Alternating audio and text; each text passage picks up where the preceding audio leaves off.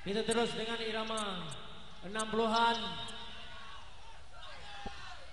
Oke.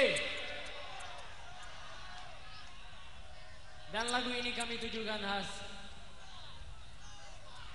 untuk kekasihku yang jauh